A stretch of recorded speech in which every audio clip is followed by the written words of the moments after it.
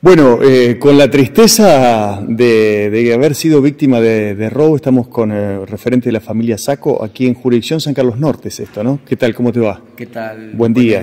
Buen día. Sí, esto es San Carlos Norte. Bien. ¿Nos contás qué te pasó? Bueno, ayer a la mañana, como siempre, desayunamos con mi hijo y después salimos a trabajar.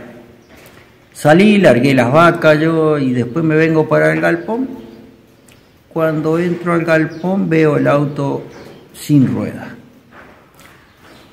Me vuelvo, cuando me vuelvo, Adrián venía cruzando el patio y le digo, Adrián, ¿vos le sacaste la cubierta al auto? Porque a veces se la sacamos para poder trabajar en la suspensión y eso. No, dice, yo no toqué nada. Le digo, entonces nos robaron. Y ahí nos dimos cuenta. Empezamos a ver cosas que faltaban, que faltaban, vinimos, este portón estaba abierto acá del lado sur. Eh, en contra de, la calle y encontramos llaves tiradas ya por el camino. Eh, empecé a mirar batería de tractor, baterías que tenía suelta, cubiertas, juegos de llave, tubo, grandes. ¿Todo eso te robaron? Sí, sí, sí. Eh, me robaron dos amoladoras, una grande industrial y otra chica de mano.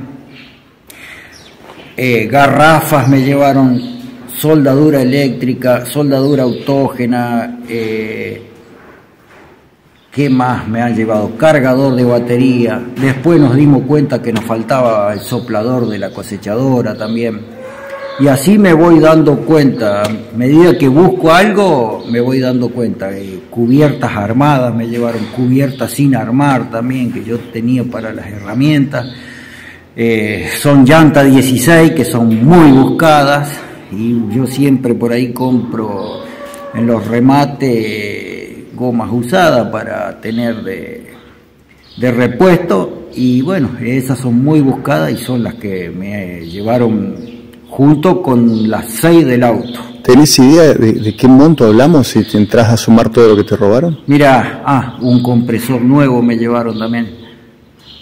Gatos hidráulicos. Mira, yo así nomás hice un numerito, pero cada vez le estoy agregando más cosas porque estoy, calculo en los 6 millones que me llevaron.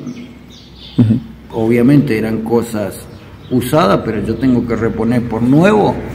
Eh, tengo que poner el valor de lo que vale uno nuevo, pero eh, hay cosas que todavía yo no me he dado porque cuenta porque el galpón es grande y ¿Esto ocurrió en plena luz del día? No, no. Ah, a la noche. A la noche. A la noche. ¿Ustedes estaban desayunando en, tu casa? Sí, sí, sí, sí, yo vivo acá. Claro. Al lado del galpón, estoy a 30 metros. 29.70 me dio la policía del galpón que abrieron a la casa.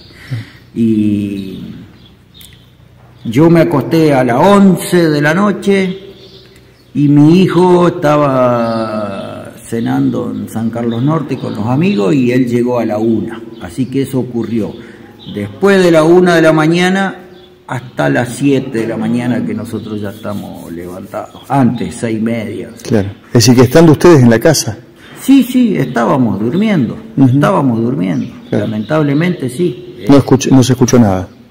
Nada se escuchó. Lo que pasa es que acá también transita mucha gente y bueno, por ahí pasan auto, cosechadora y todo, más ahora que se empieza con el tema de la cosecha y uno por ahí ya está acostumbrado y no le da bolilla, pero no, no, eh, ruido o algo no se escuchó nada. ¿Qué te dijo la policía?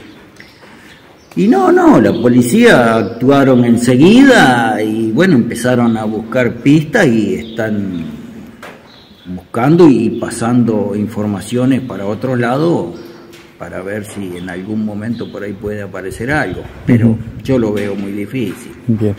Por favor, hacemos el llamado que si hay alguien que le ofrezcan alguno de los, estos elementos robados, que se comunique con ustedes o con la policía. Sí, sí, ayer ya un muchacho a la noche de acá del norte eh, me mandó una foto, dice, che, esto no es lo que te han robado a vos, porque dice, apareció esto en el Facebook.